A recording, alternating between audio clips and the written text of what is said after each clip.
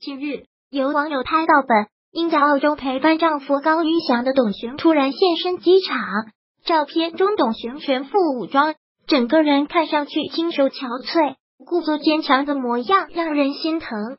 据悉，此次董璇回国是因为工作室为他接了一支代言，他必须赶在八月份拍完这支代言。昨晚八月九日晚。有网友晒出董璇和曾经的泰迪姐妹团成员李小璐、甘薇的聚会照，照片是在董璇来的亲子餐厅拍的。看来当天是李小璐和甘薇到店捧场，大概是觉得风声已经松了。之前低调嘟起来的李小璐，最近频频带着女儿甜心公开亮相，大概已经和贾乃亮和好如初了吧？另一个淡出公众视野许久的人，据说曾经和韩雪、景甜。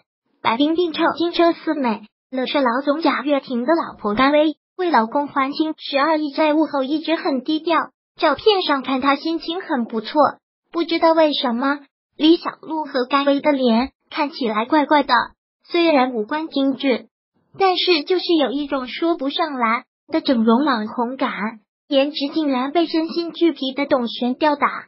这难道就是传说中的整容脸和天然脸？网红脸和明星脸的天壤之别。甘薇和李小璐还是泰迪姐妹团成员，泰迪姐妹团算是内地娱乐圈早年比较有声势的一个闺蜜团体，成员还有霍思燕、秦岚、熊乃瑾、杨幂、小雨雨和刘芸。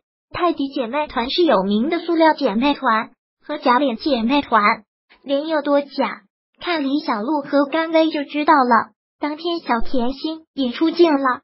和董璇亲密合照，两个天然脸看起来就是舒服。甜心越来越漂亮了，